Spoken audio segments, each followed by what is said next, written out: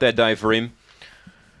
And we'll soon see what he can do here at Gawler. Green lights on. The first of 11 about to get underway. Favourite wears pink. Late money Electra Fiesta. Ready. Racing. Favourite began reasonably. He's coming up out wide, moving through Plateau. The first starter held the lead from Electra Fiesta, and out wide, Canley Donny goes to third, three off the lead.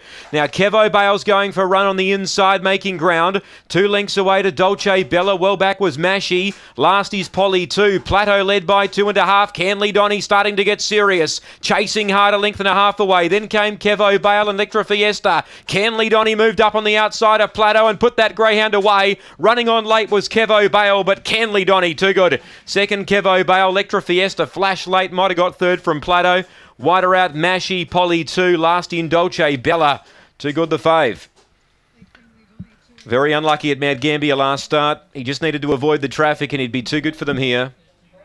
Canley Donny, too good. Don Turner, 280 on the tote, it's paid.